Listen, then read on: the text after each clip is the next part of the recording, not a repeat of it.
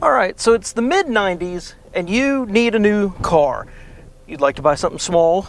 You prefer for it to be American, but you want the careful construction and the reliability that you get with the Japanese brands.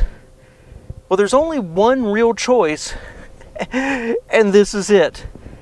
This is a 1997 Saturn SW1, and today I get to review it. All right, welcome back to All Cars Y'all. I am Jon, and yes, this is a 1997 Saturn SW1 isn't she gorgeous? Oh my gosh, I'm so excited. So a couple pieces of information before we jump into this 26 year old car. Uh, first off, if you are in the Charlotte area and you have a car you'd like to see me review on this channel, please reach out to me. Let's have a conversation. And today I want to thank Tommy for letting me take this out for a little while and experience it, get comfortable with it, and then be able to shoot this review. Number two, I'm not going to pretend that I'm not going to be unbiased today. See, in the mid 90s, I worked at Saturn. I actually worked at the retailer where this was actually sold, but I wasn't one of the ones who sold it. I was sent to their headquarters in Spring Hill, Tennessee. I went through a week's worth of training and yes, indoctrination. I visited the factory. I believed in this company. I believed in it very strongly, as a matter of fact. I believed in their focus on the customer, their focus on building a quality product, their labor relations, everything about this company I loved. And I'm so excited because this is the first time I've driven a Saturn in probably 24 years, something like that. And isn't she gorgeous? But anyway, this is an SW1. The SW means it is the station wagon. Now, from Saturn's perspective, from here forward, it's basically just the sedan, but they put this little backpack on the back of it. You can tell by the black bumpers that this is an SW1, which is the base level. Up under the hood, what we have is a 1.9 liter Saturn single overhead cam engine pumping out about 100 horsepower, running through a four-speed Saturn automatic transmission on a Saturn space frame with their famous plastic body panels. The one other thing I want to add in here is while these plastic panels, GM actually used something like this back in the 80s with their Fiero. There's actually a space frame underneath here and these are bolted onto it. This has side impact protection. It was fully, fully one of the safest cars out there in its size category. But these were innovative, loved by customers, and also part of Saturn's struggle. See, these plastic panels resisted dents. They could still be scratched. The paint was designed to be a little flexible as the panel gave. But the problem is these panels actually shrink, shrink, shrink, or expand depending on the outside temperature much more than metal does.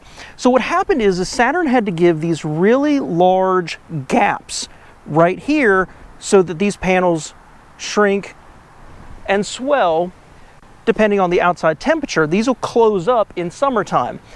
This unfortunately gave the car a little bit of a crude or unfinished appearance relative to say the Honda Civics and the Toyota Corollas out there that had much, much, much, much closer panel gaps because they were made of steel.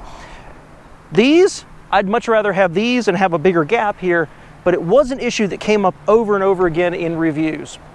Now I keep repeating Saturn because Saturn was founded by GM. It was actually a separate company started by General Motors, funded by General Motors. They built a whole factory. They designed their own frame. They designed their own engine. They built it at the factory. They designed their own automatic.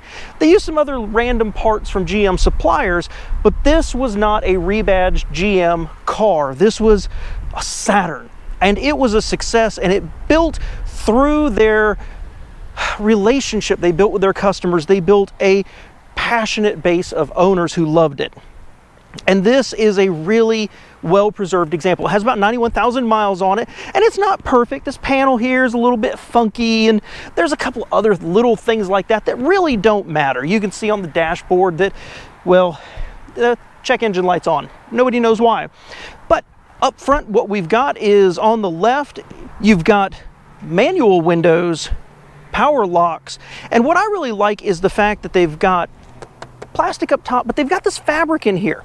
In a world where we have so many cars that are just plastic, plastic, plastic, or different shades of plastic, they have a little fabric on it. it is a nice little touch. Shows maybe how far we've come from the past.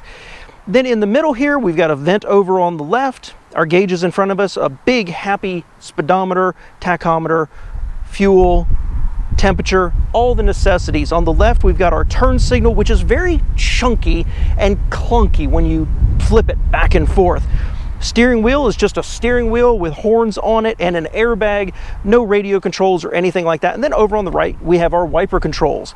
We've got two big happy vents in the center. We've got a little storage area for something in the front on the dashboard. And then we've got the radio down below. Now this is actually the upgraded radio. The base level radio is about half this size and it gives you a little area underneath it to throw stuff. Then down below we've got our air conditioning, our HVAC controls, a slider across the top to direct the air, you got your hot and your cold, and then you've got this little rotator knob here that is your fan speed with an air conditioning on off button and then your rear window defroster. Down below, we've got a cigarette lighter and then a little cup holder, the cutest little cup holder for the cutest little bottle of water, and an ashtray next to it. But what's cool is the ashtray is actually removable so you can have two cup holders. Then, of course, we've got that Saturn 4-speed automatic right there with a performance and normal button. Next in the center, we've got this little slot right here you can use it for just about anything. I personally like to think that Saturn was so far ahead they gave us a place for our cell phones. Handbrake, and then this little storage area behind it where you can just throw random stuff, but the car had an option, a dealer installed option for an armrest that would actually take up that space right there. And then in front of the passenger seat, we do have a passenger airbag, and there's this little lid, this little eyelid across it. And what we were told from the engineers was that was there to stop the lid from flipping up and helping to direct the airbag towards the actual passenger. Now, hopping in the back seat, it's okay. This is a small car. We've got more of the same plastic. We've got more of the same fabric, roll up windows. It's a little tight here. This seat is where I sit. I'm about 5'9", 5'10". So it is a little tight. I'm right here, but it's softly cushioned so I can actually get back here.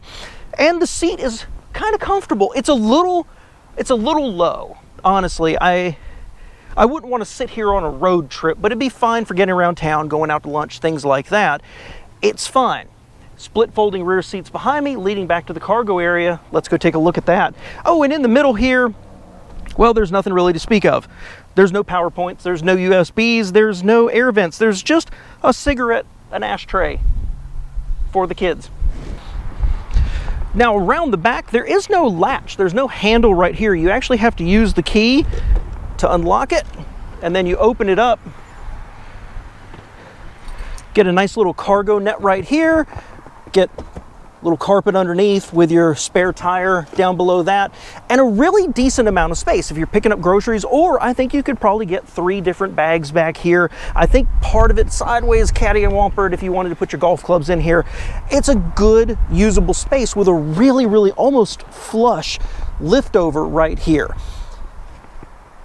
It's fantastic, and it makes you appreciate what we're missing with small station wagons. All right, guys, my first time driving a Saturn in probably 24 years. I'm so excited, I can't stand it. And now I wait on traffic. Yes. Power.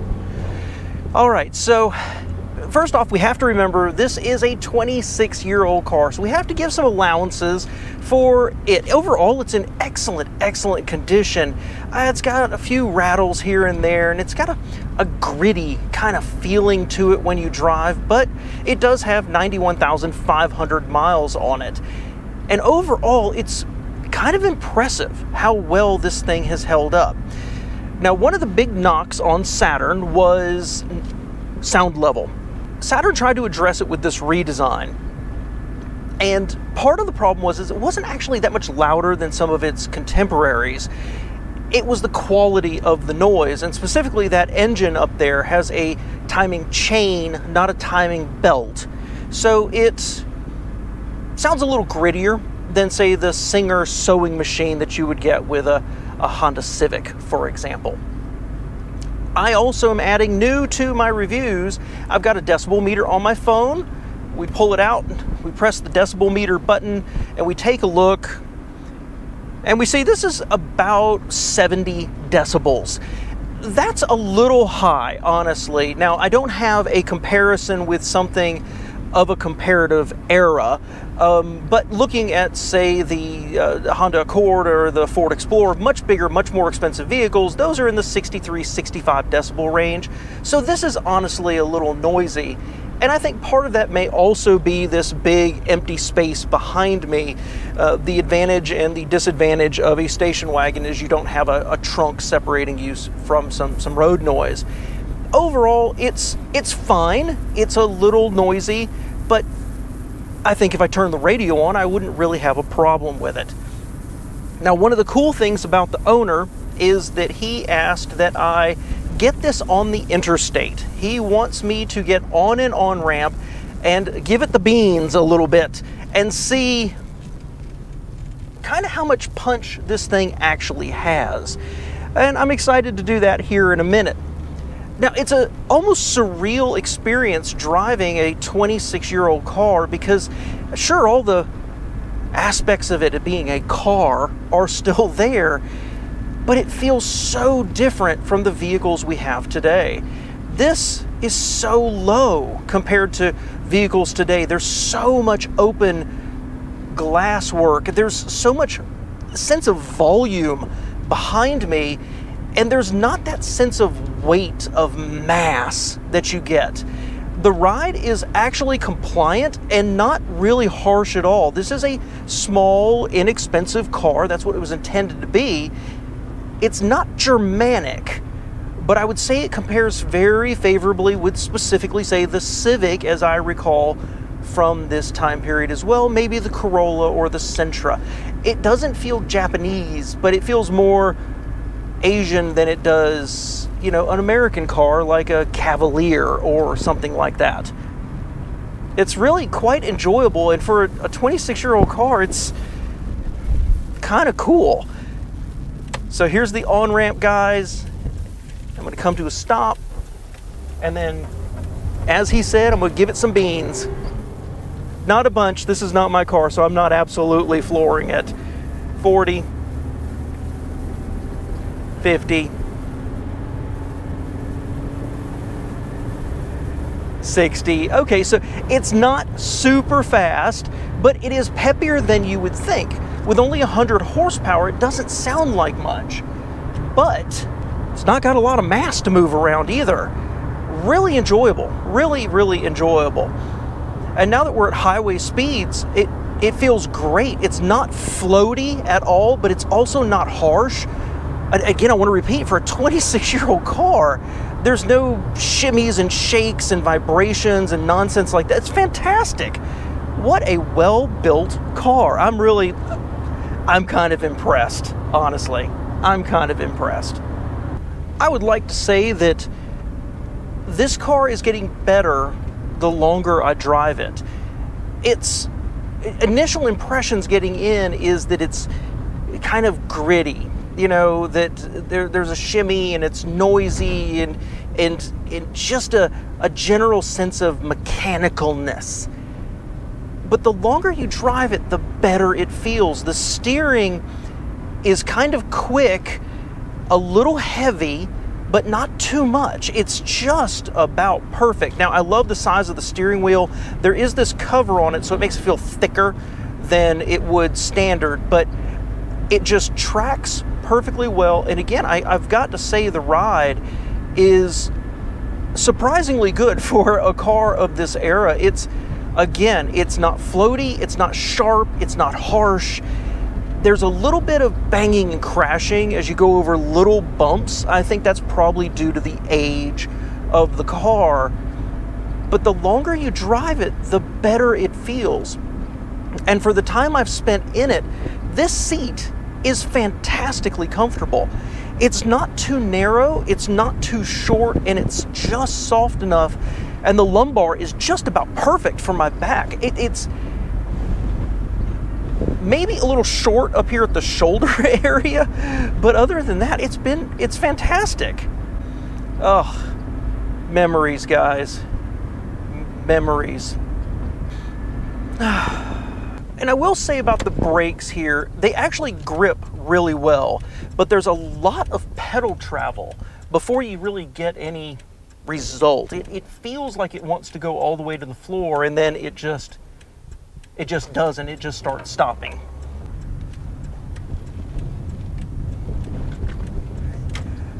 It's not a sports sedan and I'm not racing it anywhere. I was doing, you know, maybe 30 miles an hour right there, but it's got good responses. It really does. It's it's um this, this is an absolute joy. It really is. I guess there's no reason to look for a backup camera, is there? Ah, what a trip down memory lane, guys. This is a wonderful, fantastic, amazing car. I, I absolutely love it, and it brings back so many memories for me personally and how much I love the car, how much I love the brand. But ultimately, this makes me sad. See, this was kind of the heyday of Saturn. This was the second generation Saturn S series. Uh, the first one was more wedgy and they rounded everything out. They improved the styling a little bit. They tried to make it a little more quieter. The dashboard was actually replaced in the first generation, carried over to the second generation, and that's when they revised this body style and made it less distinctive, but probably more contemporary. And this continued along, and while it was a good seller, Saturn needed to have a return on the billions of dollars General Motors poured into them. And about three years after this car, in about 2000, Saturn started selling a larger car, car called the L Series. And it sold okay, and it was modestly competitive in the marketplace, but it wasn't a Saturn. It was just another General Motors platform with a GM engine, with a GM transmission, and it wasn't even built by Saturn, it was built at other factories. And it heralded what happened over the next eight years, where Saturn got a much wider selection of cars from a roadster to a minivan to uh, an SUV, but all of them were just other General Motors cars, whether they were Chevys or whether they were from Europe or whatever it happened to be. And it ruined the reputation. They used Saturn as a retailer for a bunch of other cars, but they didn't have what this had it wasn't focused on dependability, durability, the customer, putting all of that first. So this is among the last of the great Saturns before General Motors literally watered down the entire brand and then ultimately killed it in around, uh, I guess, 2008. I love this car. I love what it represented, and it just makes me sad to see it go. But now, I'm going to get back in and drive it just a little bit more before I have to return it to Tommy. Thanks for being here, guys. Show the channel some love. One other thing I want to add at the end here, guys, is they had the original owner's handbook here. And this is really, really cool. They're the people that actually sold this lady. And I think I remember him. But it's kind of neat because when you get in here, they actually have a welcome to the Saturn family message for owners.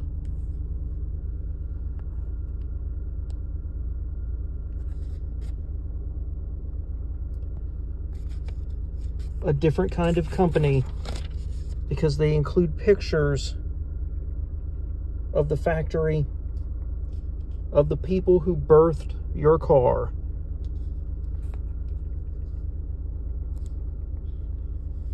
from the Saturn team to you.